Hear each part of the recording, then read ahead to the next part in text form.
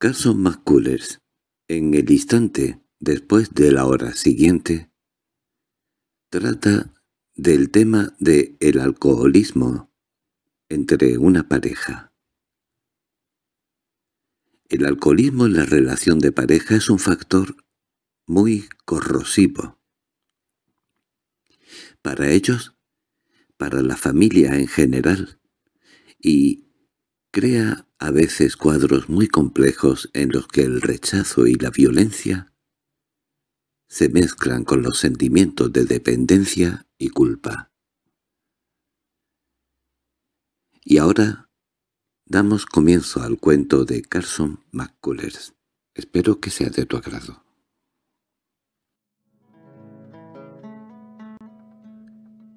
El instante de la hora siguiente por Carson McCullers Ligeras como las sombras, las manos de la mujer le acariciaron la cabeza y luego descansaron plácidamente. Las puntas de sus dedos se inmovilizaron sobre las sienes del hombre. Latieron con el cálido ritmo lento en el interior del cuerpo masculino, y con sus palmas cubrió su sólido cráneo.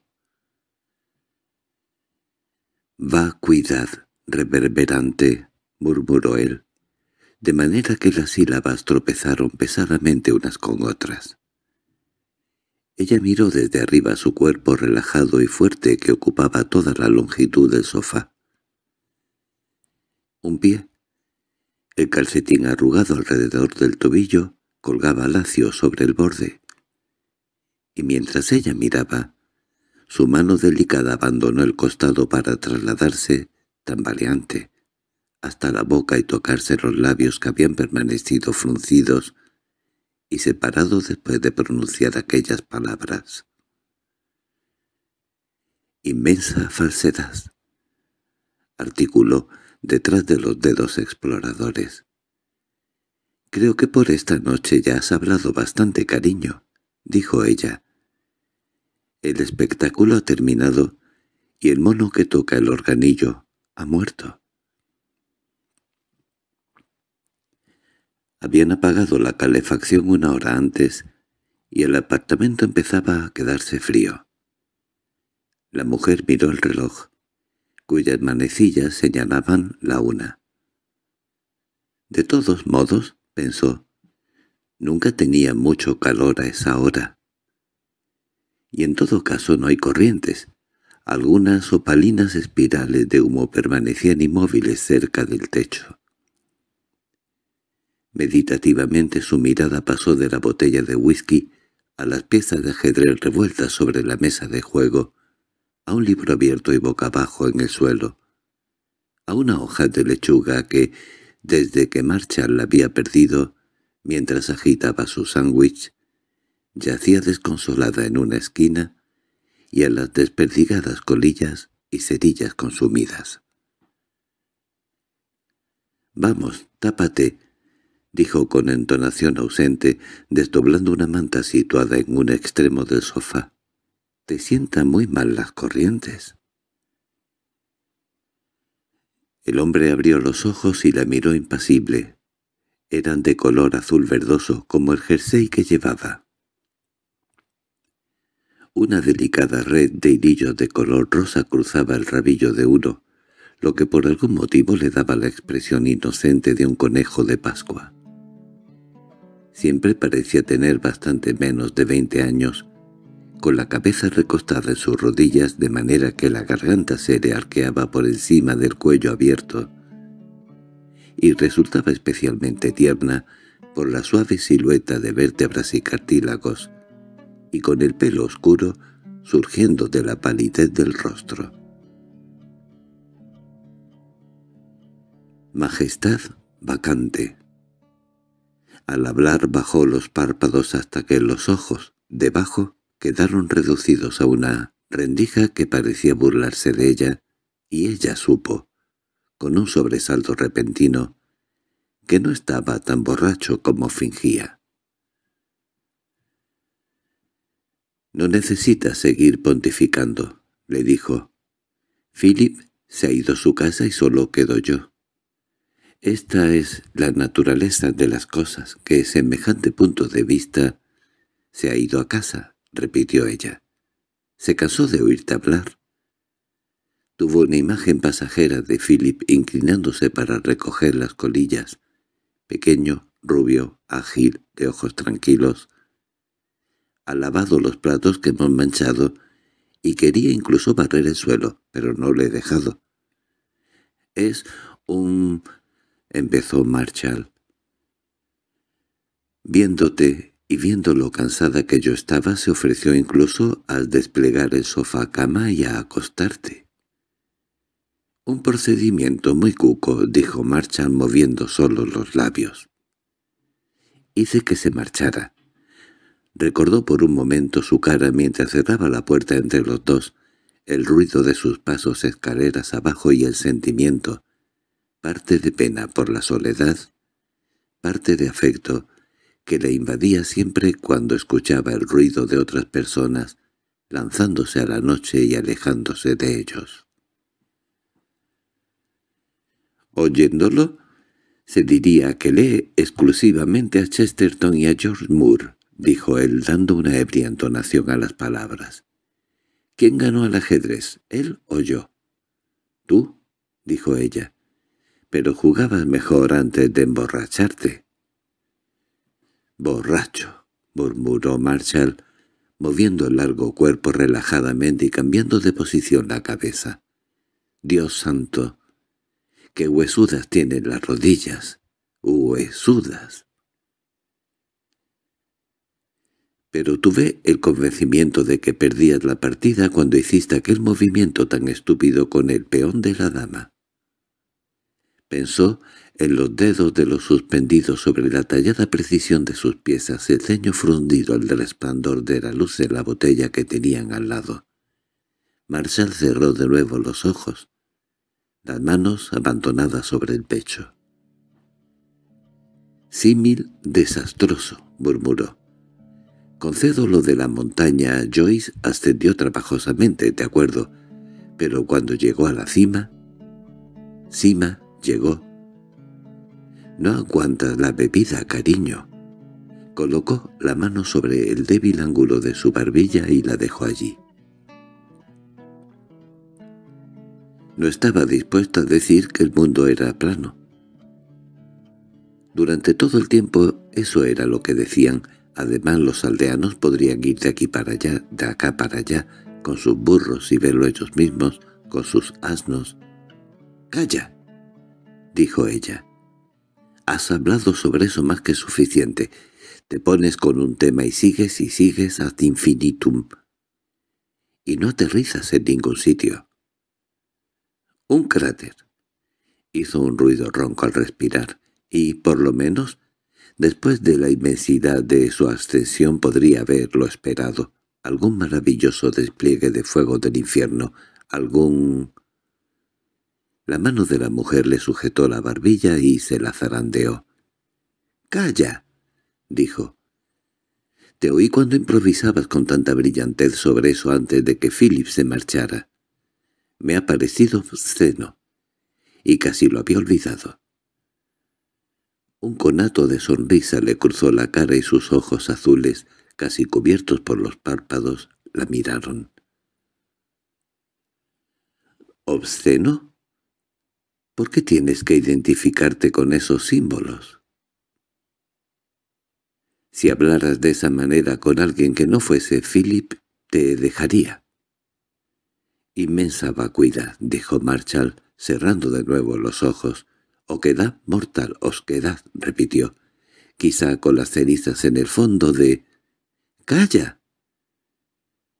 Un cretino barrigudo que no cesa de retorcerse. A la mujer se le ocurrió de pronto que debía de haber bebido más de lo que creía, porque los objetos de la habitación parecían adoptar un extraño aire de sufrimiento. Las colillas daban la sensación de estar demasiado chupadas y mustias. La alfombra, casi nueva, parecía aplastada, y el dibujo desaparecido a causa de las cenizas. Incluso lo que quedaba del whisky se veía pálido e inmóvil en la botella. —¿Te sirve de alivio? —preguntó ella con lentitud. —Espero que en tiempos como estos...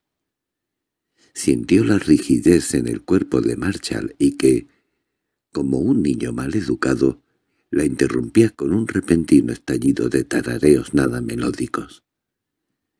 La mujer se zafó de su cabeza y se puso en pie. La habitación parecía haberse hecho más pequeña, más desordenada, más apestosa por el humo y el licor derramado. Brillantes líneas blancas se le entretejieron delante de los ojos. —¡Levántate! —dijo con voz cansada. —Tengo que sacar la maldita cama y hacerla. Marcel cruzó las manos sobre el estómago y siguió tumbado, sólidamente inmóvil. —Eres odioso —dijo ella, abriendo la puerta del armario para sacar las sábanas y las mantas dobladas en los estantes. De nuevo, encima de él, esperando que se levantara, la palidez agotada del rostro de Marshall le produjo una punzada de dolor, al igual que las sombras oscuras que le habían descendido hasta los pómulos y el pulso que siempre le latía con fuerza en el cuello cuando estaba borracho fatigado. «Escucha, Marshall, es una barbaridad que nos destrocemos de esta manera. Aunque no tengas que trabajar mañana, quedan años, cincuenta quizá, por delante». Pero las palabras sonaban falsas y ella misma solo era capaz de pensar en mañana. Marshall tuvo que hacer esfuerzos para sentarse en el borde del sofá y cuando lo consiguió, bajó la cabeza para apoyársela en las manos. —Sí, Paul y Yanna —murmuró—. Sí, mi querida Paul, de la voz ronca, Paul. Veinte es una edad de verdad encantadora, demos gracias a Dios. Las manos de Marshall, que él hundió hasta su pelo y que luego cerró, convirtiéndolas en débiles puños, la llenaron de un amor repentino intensísimo. Bruscamente alzó las esquinas de la manta y se la echó a él por encima de los hombros. —¡Arriba! ¡Vamos! No nos podemos pasar toda la noche haciendo el tonto de esta manera. —Vacuidad —dijo Marshall cansinamente, sin acabar de cerrar la boca. —¿No te encuentras bien? Ciñéndose la manta Marshall, Consiguió ponerse en pie y caminó pesadamente hacia la mesa de juego. ¿Puede un hombre pensar alguna vez sin que lo llamen obsceno o enfermo o borracho? No, no existe comprensión para el pensamiento. Del pensamiento más profundo en la oscuridad, de opulentos cúmulos, con sus culos, la sábana se hinchó al caer por el aire y los curvos remolinos se transformaron en arrugas. Rápidamente la mujer arremetió las esquinas y alisó encima las mantas. Al volverse vio que Marshall, encorvado sobre la mesa de juego, se esforzaba torpemente por mantener en equilibrio a un peón sobre una torre. La manta a cuadros rojos le colgaba de los hombros y caía por detrás de la silla. Se le ocurrió un comentario inteligente. «Pareces», dijo, «un rey pensativo en una casa de mala nota». Se sentó en el sofá convertido en cama y se echó a reír. Al hacer un gesto de enfado a Marshall se le enredaron las manos con el ajedrez y varias de las piezas cayeron ruidosamente al suelo. «De acuerdo», dijo. «Ríete hasta reventar. Así es como se ha hecho siempre. A ella, la risa le agitaba el cuerpo como si todas las fibras de sus músculos hubieran perdido la elasticidad. Cuando terminó, el silencio en la habitación era total. Al cabo de un momento Marshall se quitó la manta. Se cayó arrugada detrás de la silla. «Está ciego», dijo en voz baja. Está casi ciego. Ten cuidado, es probable que haya una corriente. ¿Quién está ciego? Joyce, dijo. La mujer se sintió sin fuerzas después de reír y la habitación se le presentó con toda claridad en su dolorosa pequeñez. «Ese es un problema contigo, Marshall», dijo. «Cuando te pones así, sigues y sigues hasta que agotas a cualquiera». La miró resentido. «Tengo que decir que estás más bonita cuando te emborrachas», replicó. «No me emborracho, no podría, aunque quisiera», dijo ella, sintiendo un dolor que empezaba a pesarle detrás de los ojos. «¿Qué hay de aquella noche cuando...» «Te lo he contado», dijo ella, con frialdad, sin separar los dientes. «No estaba borracha.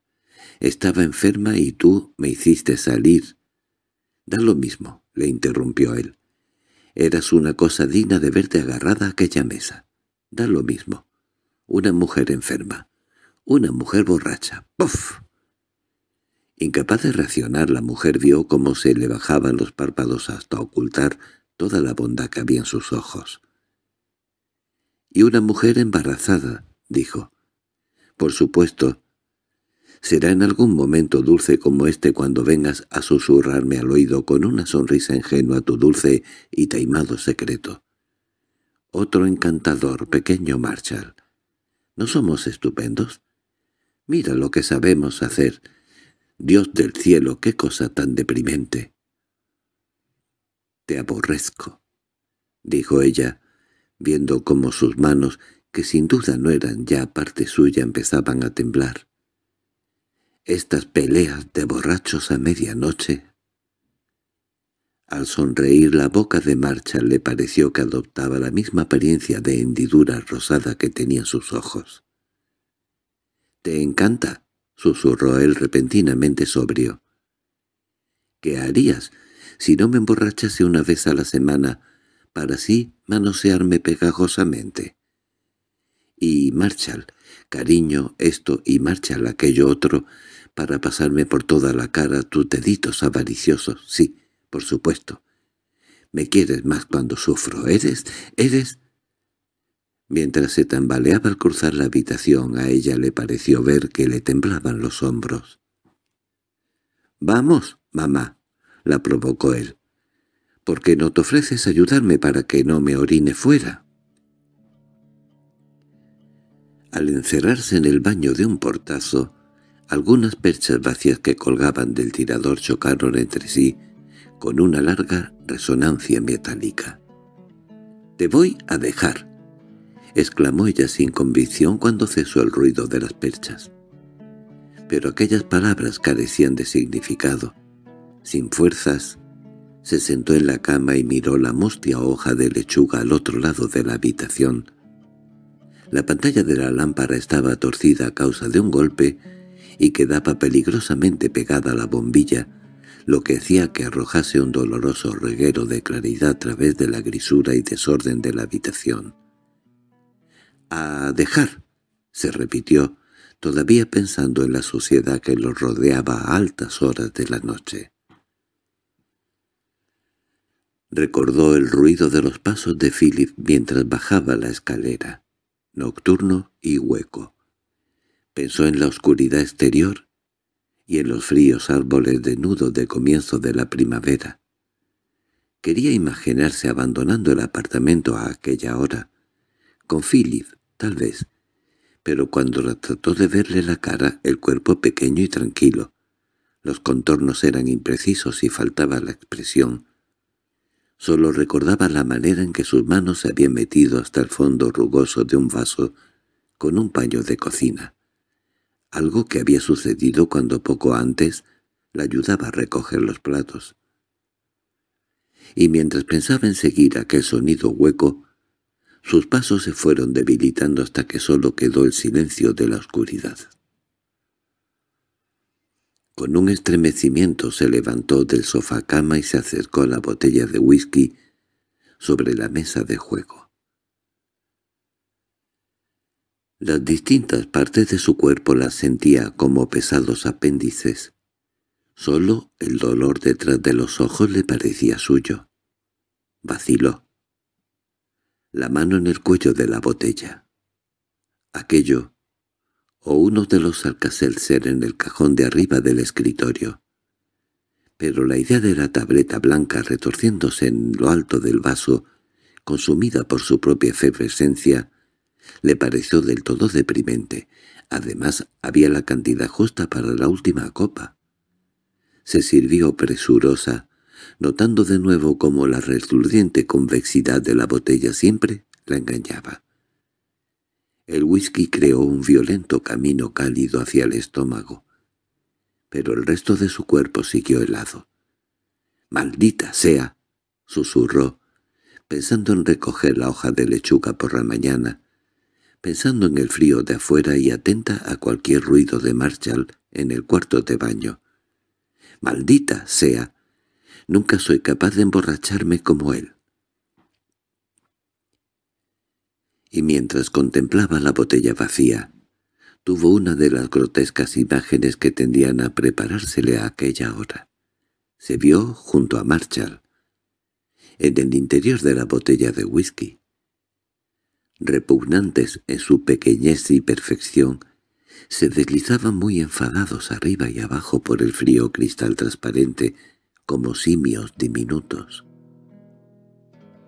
Los vio por un momento, con narices aplastadas y con miradas de nostalgia, y luego, después de sus frenesías los vio tumbados en el fondo pálidos y exhaustos, con aspecto de rollizos especímenes de laboratorio, sin nada que decirse el uno al otro. La enfermó el sonido de la botella al caer en la papelera entre cáscaras de naranja y papeles arrugados y golpear la hojalata del fondo. —¡Ah! —dijo Marshall, abriendo la puerta y colocando cuidadosamente un pie fuera del baño. —¡Ah! El disfrute más auténtico que le queda al ser humano. En el último momento culminante, mear. La mujer se recostó en la puerta del armario, apretando la mejilla contra el frío reborde de la madera. «Mira a ver si puedes desnudarte». «¿Ah?» —repitió Marshall sentándose en el sofá-cama que ella había preparado. Sus manos abandonaron la bragueta y empezaron a aminorar con el cinturón.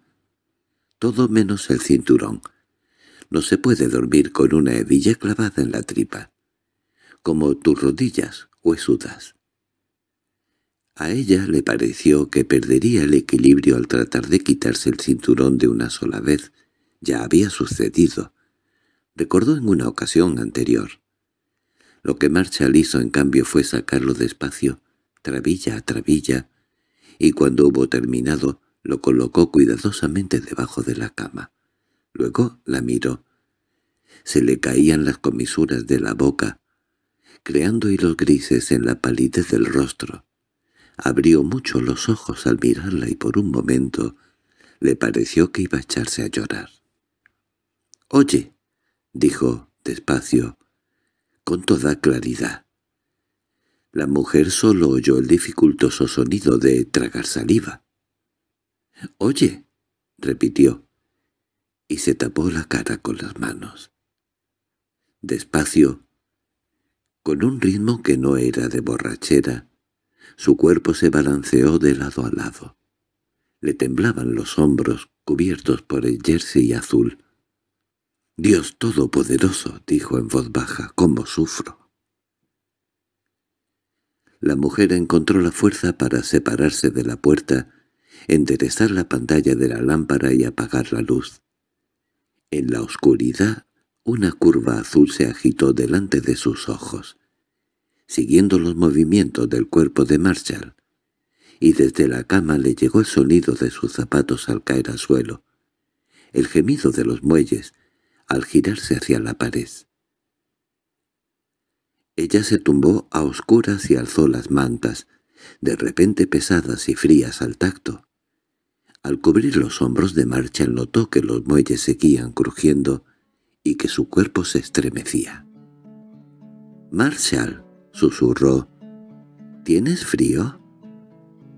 Los escalofríos, uno de esos malditos escalofríos. Vagamente la mujer pensó en la botella de agua caliente cuyo tapón había desaparecido y en la lata de café vacía en la cocina. —¡Maldita sea! —repitió con entonación ausente. Las rodillas de Marshall se acercaron apremiantes a las suyas en la oscuridad y sintió que todo su cuerpo se contraía en un rebujo estremecido. A pesar del cansancio buscó su cabeza y la trajo hacia sí. Sus dedos acariciaron el hueco en lo alto del cuello. Ascendieron por la hirsuta parte afeitada hasta los suaves cabellos en lo alto, y siguieron hasta las sienes, donde de nuevo sintió el latir del pulso. «¡Oye!» repitió él, alzando la cabeza para que ella sintiera su respiración en la garganta. «Sí, Marshall». Sus manos se cerraron en puños que, tensos, golpearon la cama detrás de los hombros de la mujer. Luego se quedó tan quieto unos momentos que ella se llenó de un miedo extraño. «Es así», dijo él con una voz de la que había desaparecido toda inflexión. «El amor que siento por ti, cariño, a veces me parece que en algún instante como este me destruirá». Luego ella sintió que sus manos se relajaban para posarse débilmente sobre su espalda, Sintió cómo el catarro que había estado incubándose en él durante toda la velada hacía que su cuerpo se estremeciera, sacudido por grandes escalofríos. —Sí —respiró ella apretándole el cráneo contra el hueco de sus pechos. —Sí —dijo tan pronto como las palabras y el gemido de los bueyes y el olor rancio homo en la oscuridad regresaron del lugar a donde, por un momento, Todas las cosas se habían retirado. Fin